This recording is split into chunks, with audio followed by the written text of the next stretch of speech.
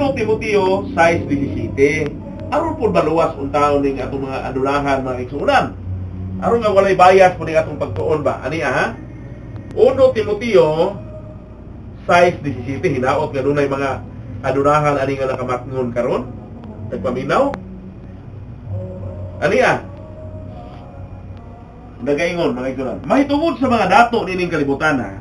Mo ni ang kung gusto ka nga maluwas ka sa gupo nimong pulong magpabautismo ka ron hugasan nimo mga sala. Unya kung naa na ka sa iglesia kay idugang ka man sa Dios sa iglesia suguon ka nga dili ka magpataas tining kalibutana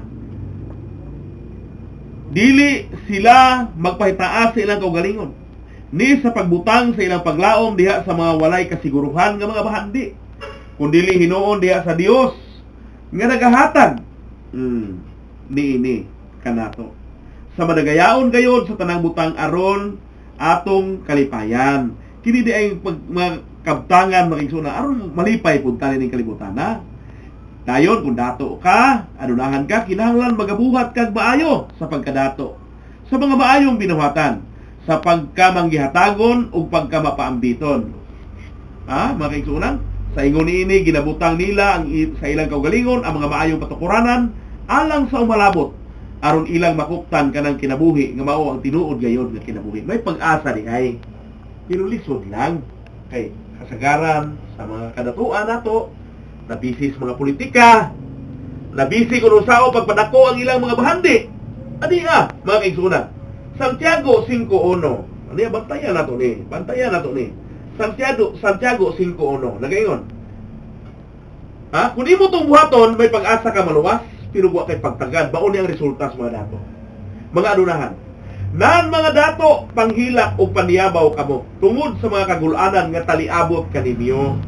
Santiago 5.1 Ang inyong kadato, mga dunot, ug ang inyong mga bisti, pagakot-kuton sa mga tangkob. Ang inyong bulawan ug salapi mahurot sa taya, ug ang iyang taya magasaksi. Bato kaninyo, mga ut-ut sa inyong mga unon, kamo nagatigom og bahandi alang sa katapusang mga adlaw ani karon nagatuaw ang mga suhol nga inyong gitikas gikan sa mga bumuo.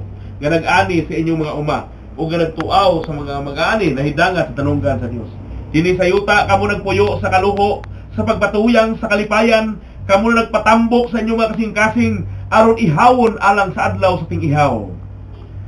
Mga kaigsunan mauto ang dangatan sa mga adunahan nga walay pagtagad sa pulong sa Ginoo nagpatuyang sa kalipayan, walay pagtagad sa pulong sa Ginoo.